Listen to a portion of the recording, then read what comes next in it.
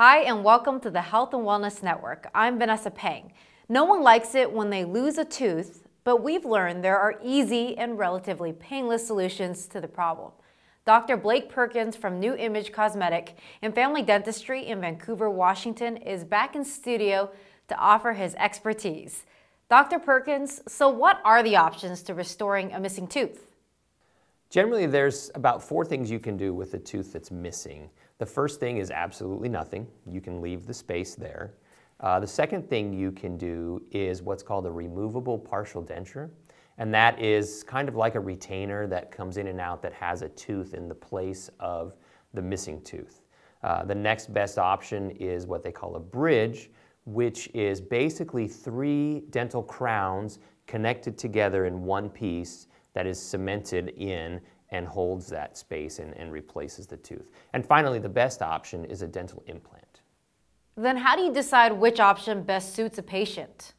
Uh, we have to look primarily at a couple of different things. First of all is, you know, what are the patient's desires? Do they want to have something as close to a natural tooth as possible? Or, you know, does their budget force them into some kind of different option? So there's several things we have to look at. Okay, so what happens? What are the consequences if you don't restore a missing tooth? Uh, the most common consequences of just leaving an empty space are uh, shifting of the teeth on either side of that space. The teeth can lean in. Also, the tooth opposing that space has a tendency to drift down over time, which can cause problems with the bite and which can cause a, a, problem in restoring that area later on if the patient then decides that they want to do something down the road.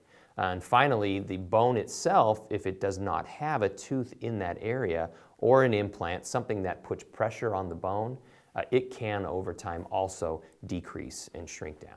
Dr. Perkins, thank you for your time today. You're so welcome. And thank you for watching the Health and Wellness Network.